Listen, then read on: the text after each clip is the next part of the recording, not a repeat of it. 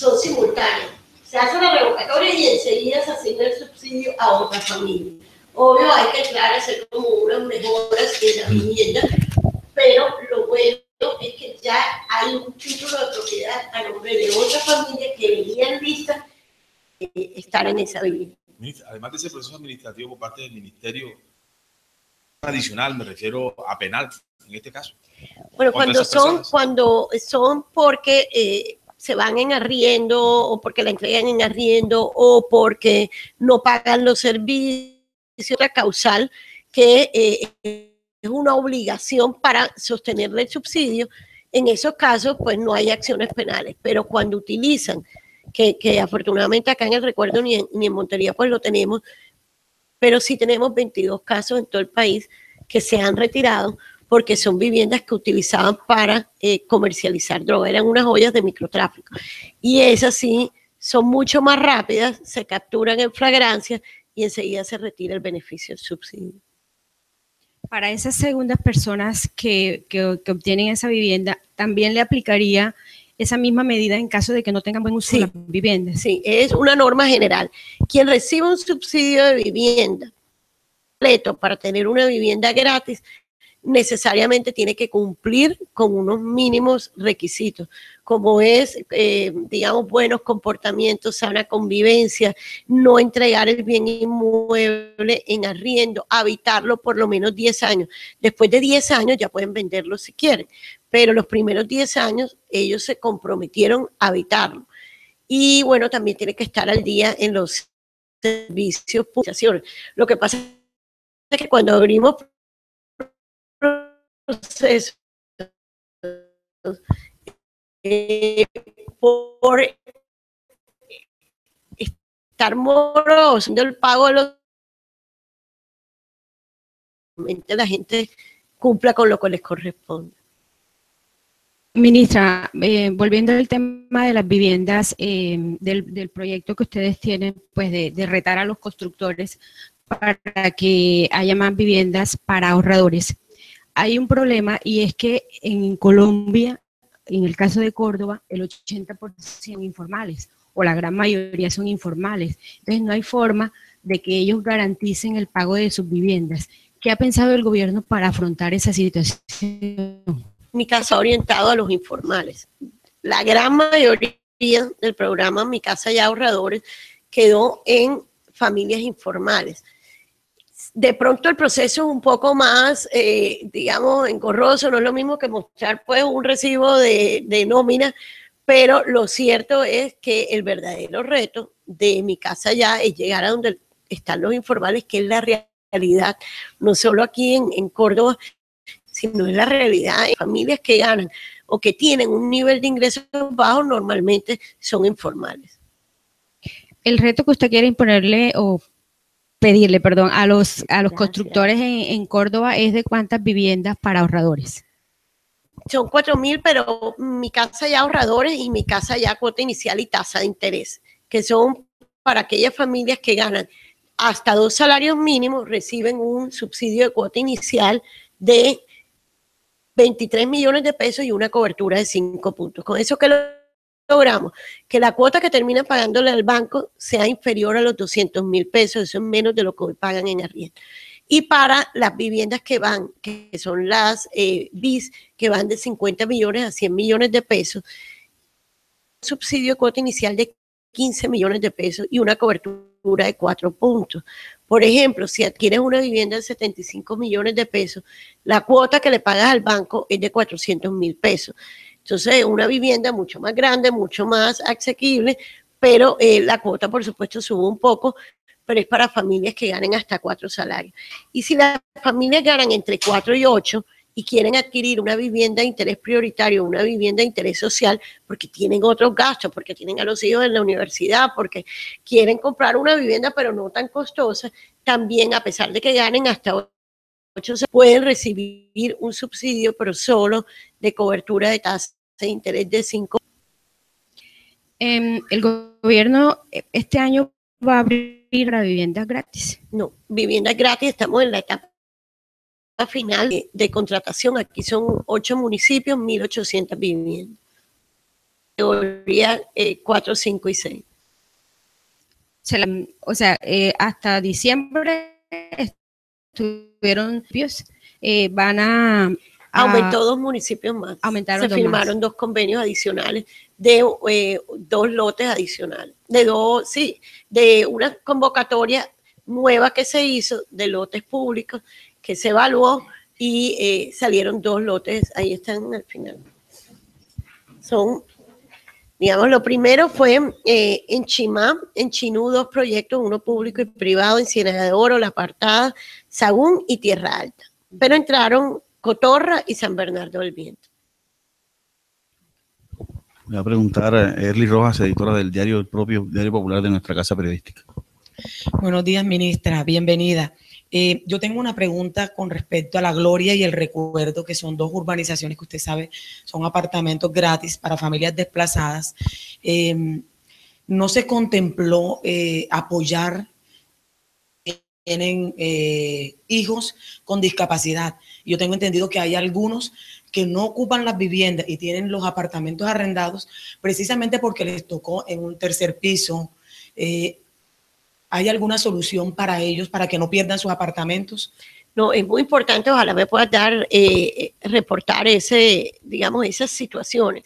Cuando hay, al contrario, familias beneficiadas que tuvieron familiares con discapacidad, los apartamentos tenían unas especificaciones diferentes, el ancho de las puertas, la altura de los, digamos, de los lavamanos, unos eh, diseños que están hechos exclusivamente para las familias que tengan miembros con, con discapacidad. Entonces, ojalá me puedan dar como esas quejas, porque muchas veces el ministerio desconoce esas situaciones y, no puede ayudar, pero a la medida que tengamos las quejas, enseguida se hacen las visitas y vemos de qué manera se subsana esa situación. Entonces, con los administradores y los líderes les vamos a dar por lo menos eh, algunas, un listado de algunas familias en este problema y que realmente sé que necesitan las viviendas eh, y no, no pueden acceder a ellas en este momento.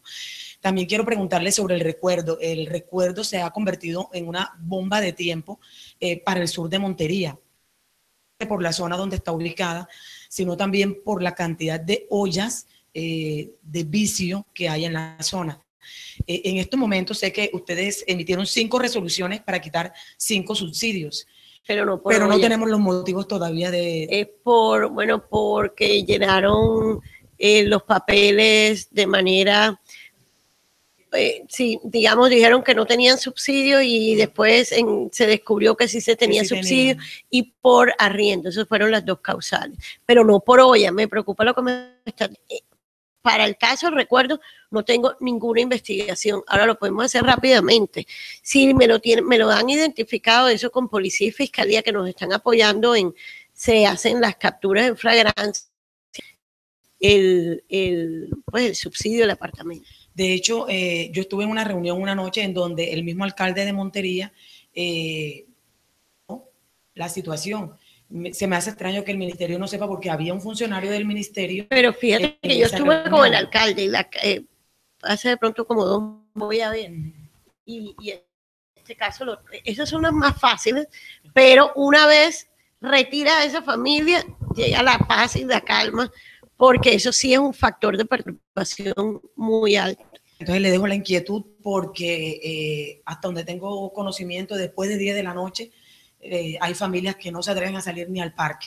Bueno, hay que reconocer que el tema de la inseguridad en las ciudades es generalizado, no es únicamente propio de los proyectos de vivienda. Los proyectos de vivienda sí tienen dificultades porque son familias muy vulnerables, son familias que vienen de otras partes, que vienen de sufrir mucho, que viven en unas condiciones de pobreza extrema, tienen techo, pero hay veces no tienen ni siquiera eh, dónde trabajar, no tienen cómo pagar eh, la administración y mucho menos después la alimentación de sus hijos pero por eso se hacen todas estas inversiones. Ese megacolegio que se hizo es algo espectacular, eso dignifica la vida de los, de los estudiantes. Entonces, es un trabajo eh, conjunto que hemos venido haciendo con las autoridades locales para ver cómo esta población, que es la más vulnerable, que está toda junta viviendo en un mismo lugar, van superando como e, esas eh, dificultades con oportunidades de trabajo, con el acompañamiento social que damos nosotros desde el ministerio con las distintas eh, fundaciones. Eh, bueno, de hecho ahora viene una, una contratación para ese caso específico del recuerdo. Y, no, esto es de todos los días, o sea, ahí no se puede bajar la guardia, pero eh, en el ministerio estamos encima. O sea, el ministerio no abandona los proyectos de vivienda precisamente porque sabemos que son muy vulnerables. Ministra, una última pregunta para el propio, que es el periódico popular de los cordobeses. Eh, nosotros tenemos una sección que se llama Así es, aprenda con el propio, y queremos que la ministra sea la protagonista de la sección de este lunes. Los requisitos que necesita una persona para tener mi casa ya en boca de la ministra. Bueno, a, todos los que leen el propio, decirles que es muy fácil, que es la gran oportunidad para tener vivienda. Lo primero, que quieran tener una vivienda propia. Lo segundo es que no hayan sido beneficiados con subsidios del gobierno nacional en años anteriores. Lo tercero es que no tengan eh, vivienda propia. Bueno, cuarto, como van a necesitar un cierre financiero, no está reportado en las centrales de información, pero perfectamente pueden ser sujetos de crédito si son informales, porque muchas veces nos preguntan, bueno, ¿y los informales qué? Los informales también son sujetos, de hecho, la gran mayoría de los subsidios de mi casa y ahorradores quedan, quedaron en manos pues, de familias eh, con miembros eh, que trabajaban de manera informal. Otra cosa es que los subsidios son familiares. Entonces, muchas veces se puede juntar el salario o el ingreso del papá con el del hijo o el de la esposa con el señor y eso va haciendo en mayor, permitiendo mayor capacidad de pago y facilitar el acceso al crédito. Ministra, eh, hablando del tema, saliéndonos de vivienda y hablando de agua potable y saneamiento básico, eh, hay varios proyectos en Córdoba eh, liderados por el Ministerio en este sentido. ¿Cuáles son los reportes que usted tiene sobre el particular? Sí, Paula, pásame el, folder completo. Sí, no, el, también se va. Bueno, de hecho son varias las inversiones. Tenemos eh, dos regionales, como el regional costanero, que ya incluso es una inversión de 50 mil millones de pesos que ya está casi un por ciento de ejecución. Tenemos también el regional San Jorge, que coge la apartada Buenavista, Planeta Rica, Pueblo Nuevo, una inversión de 23 mil millones de pesos y estamos en un 42% de ejecución. Para el caso de Montería, tenemos eh, ampliación eh, de redes de alcantarillado con las inversiones que vamos a hacer, quedaríamos en un 95%. Tenemos el compromiso del alcalde que hay que revisar los otros barrios que nos quedan pendientes para que él pueda llegar al 100%, estamos trabajando en eso, pero la buena noticia es que ya se hicieron unas inversiones adicionales para ampliar en alcantarillado y tenemos, bueno, en Montelíbano, otra, ese es nuevo, es una inversión para, para dejarlo con, con, todo el plan maestro de acueductos, una inversión de 17.300 millones de pesos, apenas está en proceso de contratación por parte de Findeter, pero son obras importantes que van a permitir mejorar coberturas tanto en agua como en saneamiento. Varios habitantes o beneficiarios de subsidios en la organización Villa Melissa aquí en Montería han tenido que recurrir a los estados judiciales para que los subsidios se les reactiven porque los dejaron vencer. El ministerio hay cerca de 400 familias todavía esperanzadas que esos subsidios se reactiven y ellos puedan hacerse a su propia vivienda. Sí, Villa Melissa es las bolsas anteriores, eran los esquemas que no funcionaban, que ilusionaban a la familia y le daban una carta cheque que nunca iba a poder utilizar. Se recorría el país buscando oportunidades y los apartamentos eran del doble. Entonces, pasaban los años, pasaban los años y esa carta cheque iba perdiendo valor y cada vez le alcanzaba menos. Ahora, eh, la política del ministerio fue lo que se siniestró, pues recojamos como esas bolsas y trabajemos sobre los proyectos nuevos, que es lo que ha funcionado con la nueva política de vivienda. Y para que los eh, beneficiarios del pasado puedan ser sujetos, necesariamente tenían que renunciar pero obviamente desconfianza de que yo no voy a renunciar, después me quedo legítimo y entendible. Eso hizo que perdieran como las oportunidades. El caso de Villamelice es un caso específico, que además hay una serie de órdenes judiciales y estamos viendo cómo, cómo los salvamos. Gracias. Por estos minutos a, la organización, al grupo de comisiones medianas, especial Meridiano Córdoba y al propio en la.